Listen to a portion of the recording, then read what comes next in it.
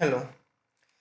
If you have a wordpress website then you see this type of problem.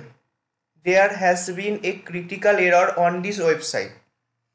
So today in this video i will solve or fix this problem.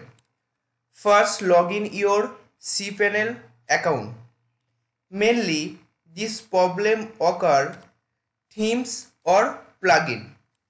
First open cpanel then file manager.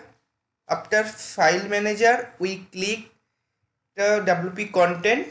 Then plugins or theme will be name change first. First we change the theme name. Double click.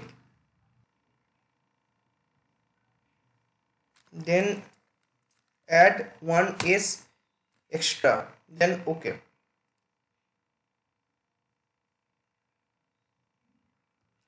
And then refresh this page. But no problem does not fix. Okay. Then now change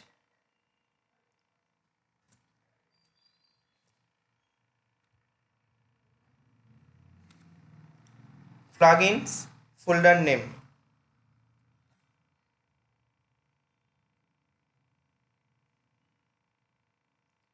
Add one extra s.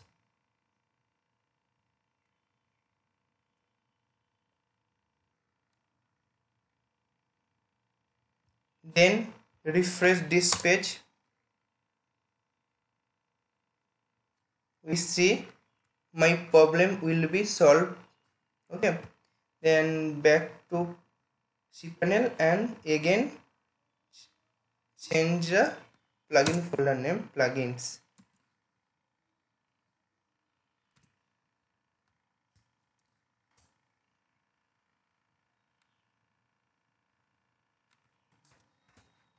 Open admin panel.